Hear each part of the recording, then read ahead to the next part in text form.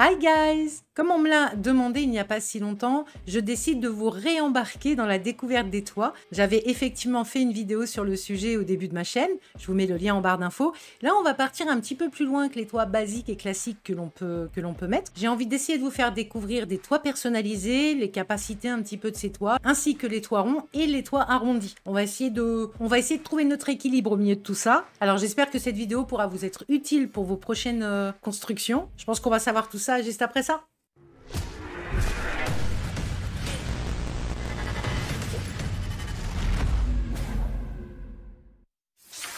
Alors là, on se retrouve au Croissant Tranquille, qui est un terrain de 30-30, si je ne m'abuse, euh, qui se trouve à Newcrest. Alors, on va commencer tout bonnement en allant bah, faire une pièce. Enfin, une maison. Je suis pas aidée aujourd'hui. Alors, alors en règle générale, quand on a comme ça, alors là c'est qu'un pauvre cube hein, bien sûr, mais quand on a comme ça ce type de cube, on va aller prendre un toit, qui est généralement celui-ci, puisque c'est le plus classique, le toit à deux versants, ou alors le toit de coupe. Bref, on met un toit Point barre. Là, on a la possibilité de faire des choses un peu plus sympas, j'ai envie de dire. Alors, même si vous n'avez pas l'intention de faire un étage, vous pouvez quand même faire un toit avec des fenêtres. Alors, je m'explique, je m'explique. Alors, moi, ce que je fais en règle générale, déjà, je vais mettre la grille pour y voir un tout petit peu mieux. Et je fais une pièce donc là, ici. Ensuite, je la copie et je la mets ici. Ceci étant fait, je vais aller chercher un toit à deux versants. Alors, je rappelle, si vous regardez bien, on a un petit marqueur vert en dessous du toit. C'est l'endroit pile poil où va se trouver le toit. D'accord? Donc si je le mets là, ben, il est un peu dans le vide. Et si je le mets là, eh ben, il est au centre de ma maison. Moi, je veux qu'il soit bien au bord. Je vais prendre les flèches de côté. Donc vraiment pour les bases des bases des bases, je vous conseille d'aller voir la première vidéo que j'ai faite. Ici, je pars du principe que vous avez les bases sur les toits. Ensuite, on étire au taquet. Et vous voyez, quand j'étire au taquet, et eh bien là, j'ai mes deux pièces. Ben, c'est bien s'il leur faut peut-être un toit aussi. Donc, on va aller prendre un toit à deux versants. Je veux le tourner dans l'autre sens. Donc, pour le tourner, ben, vous avez plusieurs possibilités. Ou vous avez la place sur votre terrain, vous posez votre toit et ensuite vous utilisez les flèches qui sont ici. Beaucoup de manipulation, mais si vous êtes plus à l'aise avec cette manière de procéder, pardon, eh ben procédez ainsi. Moi, pour le coup, eh bien, je l'ai en main et en fait, j'utilise virgule et point virgule pour les tourner tout simplement. Donc je l'installe toujours en faisant attention à mon marqueur et je vais réajuster la taille de façon à ce qu'elle ne dépasse pas en fait de l'autre côté. Hein. C'est pas très joli. Et là, comme mes deux toits ne s'imbriquent pas, j'ai deux choix. C'est où je baisse celui de la fenêtre ou je monte celui-là. J'ai peur qu'en montant celui-là, ce soit un peu pentu. Alors je vais tenter en baissant celui-ci.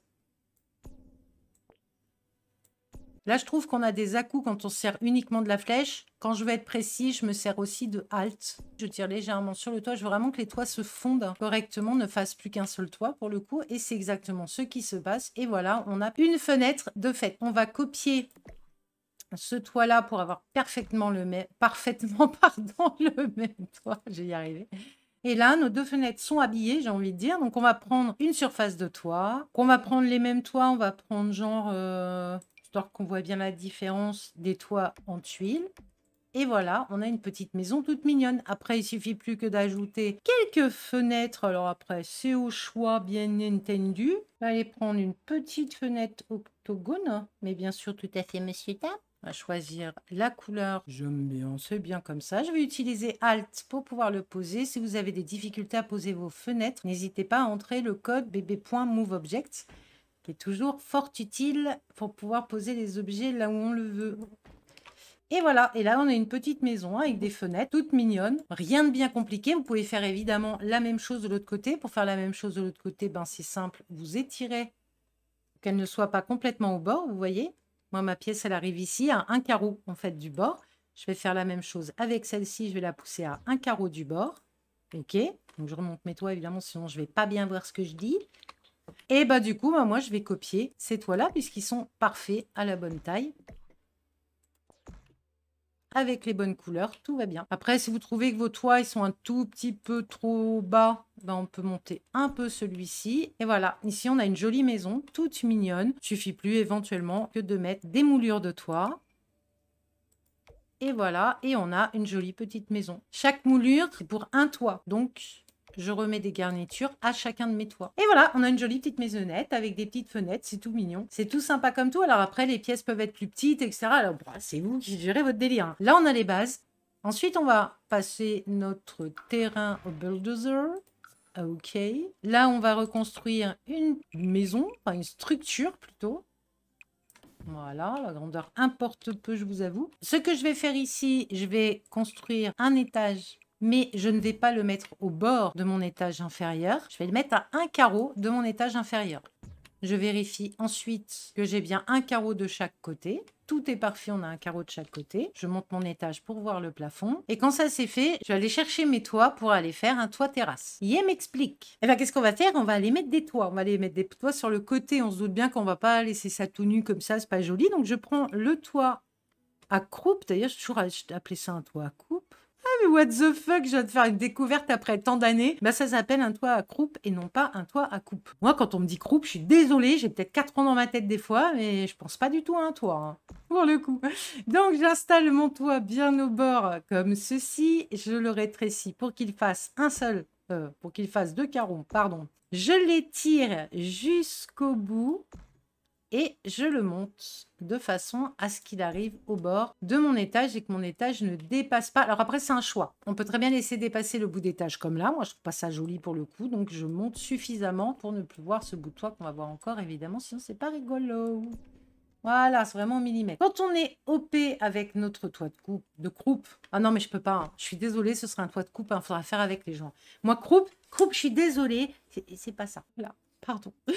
Je prends mon toit, je sélectionne et je clique sur mon copier que j'aime bien parce que bah, c'est mon copain, le copier que j'aime bien. Et je vais aller coller mon bout de toit de l'autre côté. Du coup, bah, il semble qu'on est bien, évidemment, puisque euh, on s'est référé à celui-ci, que l'on va encore copier. On peut copier le dernier qu'on a posé. Qu'une importance. Avec virgule, point, virgule, je tourne mon toit pour qu'il soit OP. On le met bien au bord. Évidemment, il va être trop grand de ce côté-ci. Je vais le ramener. Et vous voyez, l'idée, c'est que le jeu va systématiquement associer les toits, qu'il ne fasse qu'un seul toit. Donc, on, reprend le même toit, on le double, enfin, on le copie on l'installe, on l'ajuste, et voilà, on a notre tour de toit ici. Et là, en fait, l'idée, bah, ça, va l'être, bien sûr. Donc, l'idée ici, bah, ça va être de faire un toit terrasse. Moi, j'ai envie, par exemple, que euh, mon sim, il puisse aller euh, planter ses petits euh, oignons et ses patates sur son toit si ça lui fait plaisir. Alors, évidemment, là, on va pas le laisser comme ça, le pauvre. On va aller chercher une clôture. Qu'est-ce qu'on va lui mettre? Qu'est-ce qu'on va lui mettre? J'ai envie de prendre quelque chose de plutôt petit, style, style, style ça. Voilà, la clôture en fer forgé. Du coup, on met notre petite clôture sur le bord, tranquillou bilou.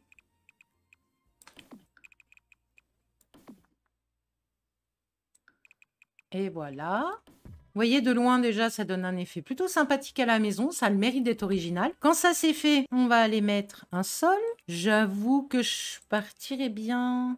Non, pas là-dessus. Voilà, on a le sol en terre salvadorienne. J'aime bien l'idée vu que ça va être un jardin pour le coup de cette couleur-là, c'est parfait. Et voilà, on a notre toit de terrasse. Alors évidemment, pour y accéder, il va falloir mettre des escaliers ou des échelles. Je rappelle qu'avec contrôle, on peut à partir d'ici mettre l'escalier. Donc si on veut par exemple que l'escalier soit plutôt par là, on fait contrôle et il arrive en bas et on a notre escalier. Et du coup, à partir de là, on peut aménager tout à fait notre toit de terrasse tranquillou bilou. On peut mettre une échelle, on peut mettre ce que l'on veut. Alors si vous voulez mettre une décoration d'extérieur, vous savez, qui se met autour de la maison euh, au niveau d'un étage, vous pouvez, sauf que si vous avez mis comme moi les toits vraiment hauts de façon à ce que l'on puisse pas voir les murs, ça va être une catastrophe parce que vous voyez, histoire que ce soit clair, donc on va aller déjà dans le bon truc qui sont, qui sont les décorations décoration d'intérieur. Ma phrase, elle est pourrie, mais c'est pas grave. Et on va les choper, bah, je sais pas, histoire que ça se voit bien. D'ailleurs, je vais vous montrer. Ah, mais vous voyez, quand je mets ma frise, elle arrive, enfin ma, décoration d'extérieur, elle arrive. Euh, alors après, on peut aimer. Moi perso, je trouve ça un petit, ça fait un peu dégueulasse. Pardon, ça fait pas joli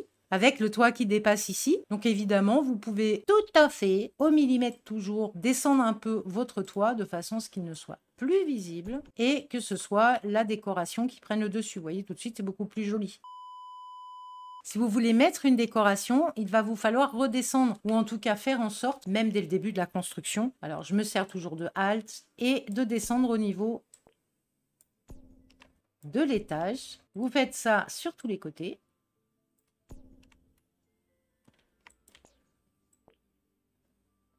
À vous de faire attention à ce que les toits se rejoignent bien, donc qu'ils soient bien tous à la même hauteur, parce que sinon c'est pas joli du tout. Évidemment, si vous descendez trop, par exemple, vous voyez, c'est tout de suite, on voit, la différence. Après, on peut aimer le style, il n'y a pas de souci. Mais voilà quoi. Donc, l'idée, c'est de les mettre à la même hauteur pour que ce soit un peu esthétique.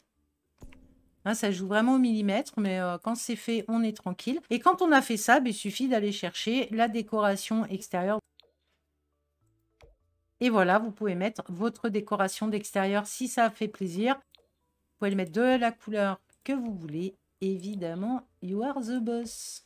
Donc comme ça, vous avez une maison avec un toit terrasse. Si vous avez un petit terrain, ça peut être plutôt cool. Et si vous voulez faire quelque chose de végétal ou si vous voulez mettre euh, votre barbecue en haut, ça vous fait plaisir. Ou même euh, aller regarder les étoiles dans une décoration plutôt sympathique. Et ben voilà, vous avez la possibilité d'avoir le toit terrasse qui se trouve ici. Rien de plus compliqué. On va repasser notre terrain au bulldozer. Maintenant qu'on a vu ça, on va aller faire une pièce tranquillou et on va aller chercher les toits ronds. Ça fonctionne aussi avec les toits hexagonaux.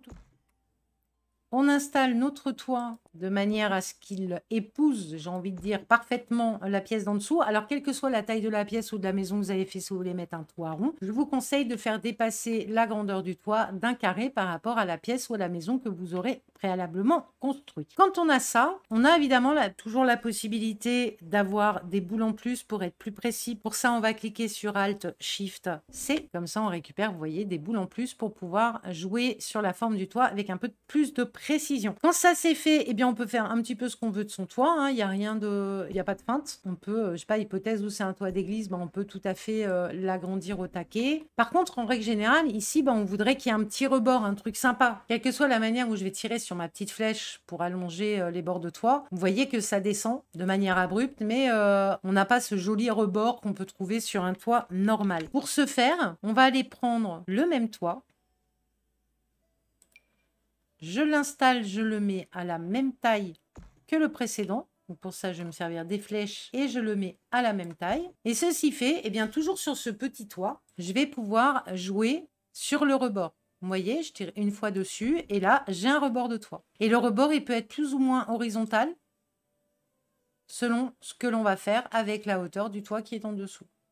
Le toit, il peut être très très plat, comme il peut être un peu plus arrondi. Vous voyez, on a quand même ce petit rebord hein, très joli qui donne un, un aspect vraiment sympathique au toit et un petit peu plus naturel à mon sens. Voilà. Et quand on a fait ça, grâce aux petites boules qu'on a rajoutées, eh bien, on peut aussi jouer sur sa forme. On peut vraiment faire ce que l'on veut de notre toit avec précision pour avoir un toit vraiment sympa. Donc ça marche absolument avec tous les toits. Ce toit à coupe aussi, vous pouvez le placer, vous le mettez au plus bas, vous l'allongez pour pouvoir le récupérer après, vous allez comprendre pourquoi. Vous installez le deuxième toit dessus et vous voyez, vous avez un rebord avec le toit. Après, si vous avez envie de le voir avec une pièce parce que vous avez du mal à concevoir le projet, on récupère le premier toit, on l'installe. On le met même à la taille que l'on veut si ça nous fait plaisir. Voilà. On récupère le second toit, bim, que l'on met dessus, que l'on va rétrécir aussi. Et voilà. Et du coup, vous voyez, on a un rebord de toit. Le toit, il est plus euh, tombant selon la hauteur sur laquelle on va jouer sur le premier toit.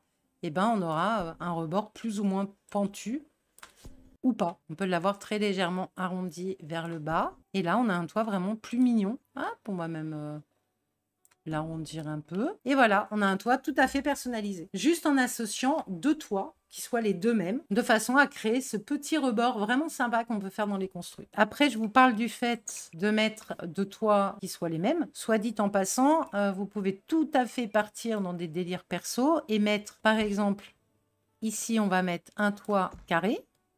OK On va étirer les bords. On va le baisser. Et dessus, on va mettre un toit rond.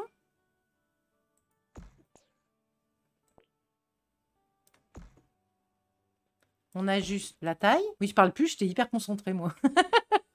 on ajuste la taille. Du coup, on va ajuster la taille de tout pour que, pour le coup, ce soit esthétique. Bim. Et du coup, bah, nos deux toits sont ensemble. On en fait tout à fait ce que l'on veut. Ici, on peut tout à fait changer la hauteur pour que ce soit un tout petit peu plus pentu. De la même manière, évidemment, on peut jouer sur la hauteur avec Alt pour être un peu plus précis. Et voilà, on a un toit qui est totalement personnalisé, qui est totalement original, avec un toit à coupe et avec un toit rond. Donc, à vous de vous amuser pour faire les associations que vous voulez, pour avoir, voyez, des styles de toit ultra différents, mais avec ce petit rebord qui est tellement joli. Et du coup, l'idée, c'est effectivement de pouvoir habiller tout ça avec une bordure de toit, et là, on a un joli toit, un peu chelou, j'avoue, mais on a un joli toit. Après, si on le désarrondit, j'ai envie de vous dire, bah, on peut repartir euh, sur un toit, on peut partir sur des toits euh, tous arabis. Euh, voilà, on peut faire tout ce qu'on a envie avec les toits. Le truc, c'est que vous ayez ces bases-là. Du coup, j'espère que toutes ces astuces vont vous permettre de pouvoir vous éclater comme des fous sur vos constructions, d'être un peu plus à l'aise. N'hésitez pas, faites des essais. De toute façon, tout est modifiable dans les Sims. Je peux vous assurer que vous avez déjà vachement matière à faire des choses vraiment sympas. Tout ce qu'il faut, c'est arrêter de douter de vous. Bon bah voilà, normalement vous avez... J'ai une mouche sur le front, ça vient de moi les gens. Enfin je dis ça, je dis rien, mais la dernière fois, il y en a une, vous rentrez dans mon nez. Faut arrêter de vous la rentrer dans mes orifices.